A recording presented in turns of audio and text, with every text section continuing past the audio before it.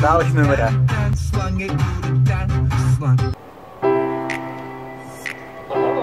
Hey, goedemorgen Gilles. Hey, goedemorgen Dat is onze nieuwe ontspanningsruimte op het eerste verdiep bij Proximus. Het ziet er wel deftig uit, hè? Ik zit hier in het eh, bezoekersrestaurant van Proximus. Hier kom je normaal alleen met eh, belangrijke klanten en zo.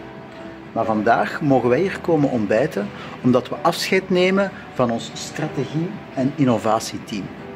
En daarom krijgen wij vanochtend een ontbijt aangeboden om afscheid te nemen van de collega's. Maar ze zijn precies een beetje te laat.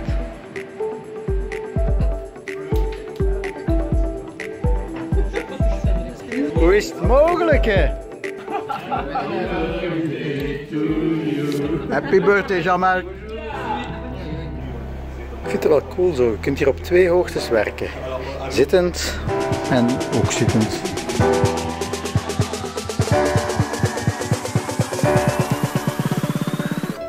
Goedemorgen.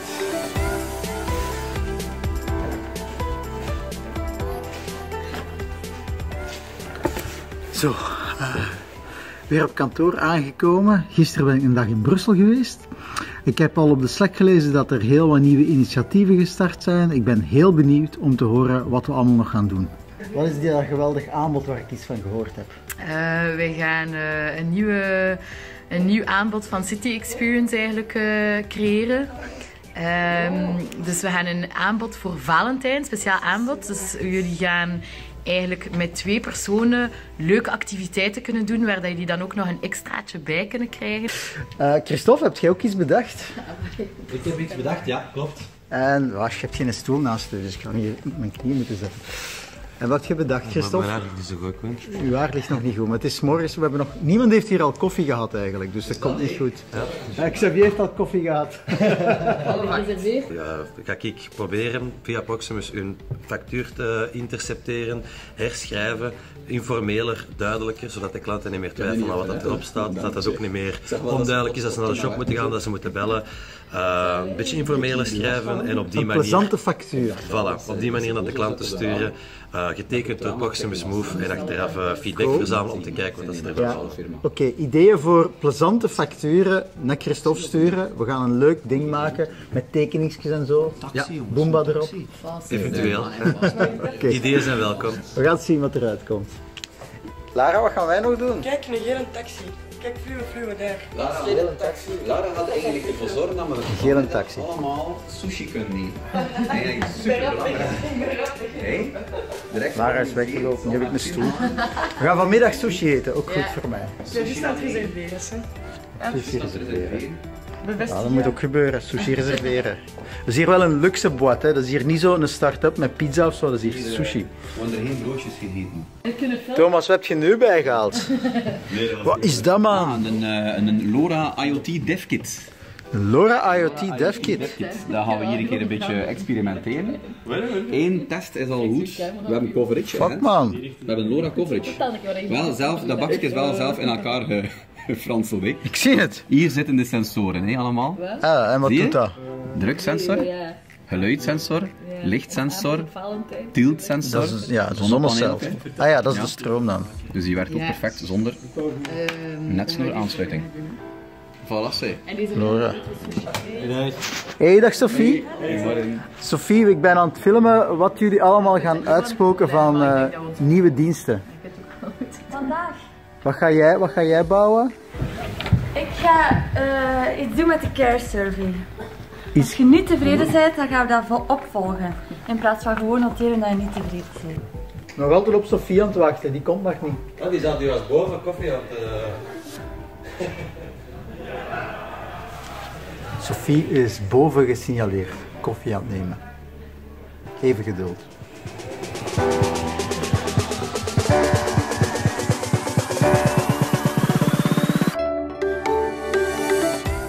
Ik ben een boek aan het voorlezen in afwachting van Sophie. Die ging hier naast mij komen zitten, maar die komt nog niet.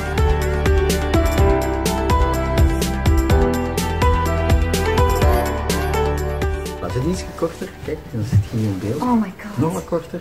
Maar dat is wel een goede kant. Ja, nee, ik zit niet hier. Is dat ook uw goede kant?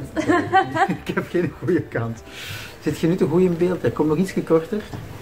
Voilà. Zo. Hey Sophie, blij dat je eindelijk hier bent. Oké, we beginnen opnieuw. Dat was niet zo vriendelijk van mij. Nee, dat is eigenlijk al meteen zo. Ja.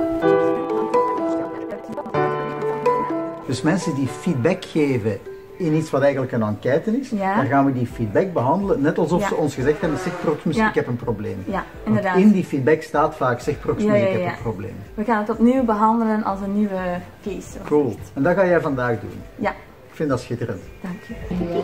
Wie is dat? Louise? Van, Louise van Temptation. Louise van Temptation Island is gefilmd door onze crew en ze heeft verteld wat ze op Valentijn gaat doen. En daarvoor moet je eerst naar ons filmpje kijken.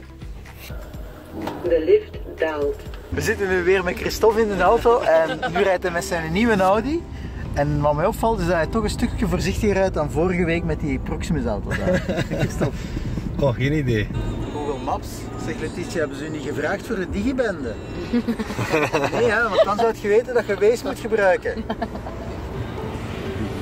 Dat is Club 13. Ja, leg dat eens uit voor de camera. Nice boot om te gaan feesten. In de week echt aanraden. Vrijdagavond moet er echt naartoe gaan. Qua finaal ook wel cool. Maximaal kunnen er 5 items per persoon per ronde bestellen. Ah. 88, 88 heb ik er ook op. Surfmossel. Hier, ik pak ook uh, 162. Je lacht hè, maar er staan chicken wings tussen. Man, dat is wel goed hè. Ja, kijk, mijn tijd. Maar niet alles, maar de was Dat is blijkbaar een bijkomende regel. Alles wat je niet opeet of niet opkrijgt, moet je betalen aan rate van 1 euro op stuk. moet je wel op. Ja, voor 30 euro, je kunt... Zero damage. 30 euro.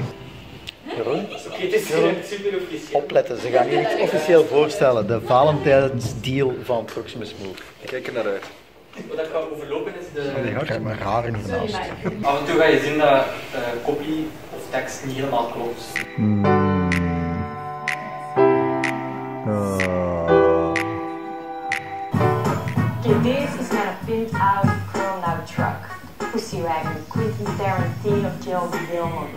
Ik ben nog eens bij Proximus en ik heb gehoord dat mijn goede vriend Luc Gallopij in het gebouw is. En ik ga daar gewoon een keer binnenvallen. We zullen wel zien wat er gebeurt. Ah, waar zit hij nu? Daar. Oh ja, dat is voor mijn vlog deze week. Dus dat is Margaret, die zorgt dat ons bedrijf helemaal digitaal wordt. En dat is Luc, die helpt, die helpt mensen waar hij kan. Ja. Zo is het toch, hè? Ik sta hier geparkeerd bij de VRT. En ik sta hier zo vlak naast een paal. En omdat ik mijn eigen ondertussen ken, heb ik maar een briefje op mijn dashboard gezet, want eh, anders is dat straks kaboom. It's gadget time. Ik heb een nieuw statief voor mijn gsm gekocht en ik ga het u nu laten zien. Eerst had ik dit. Ik heb dat gekocht in de Action voor 2 euro en iets. Het nadeel is, als je je gsm hier onderin klemt, dat hij hier op de knopjes duwt, waardoor hij ofwel de volumetoetsen ofwel de aan-uit toets indrukt. En dat is niet zo handig. En nu heb ik dit gekocht op AliExpress, mijn eh, lievelingswinkel. Ik ga een link in de beschrijving bijvoegen. En hier klemt je de gsm hieronder. En daardoor stoot hij nergens tegen de toetsjes. Dus als je dat hier bekijkt, ziet, is dat open. En kunt je je gsm daartussen steken zonder dat hij automatisch uitschakelt. Goed, Lara? Fantastisch.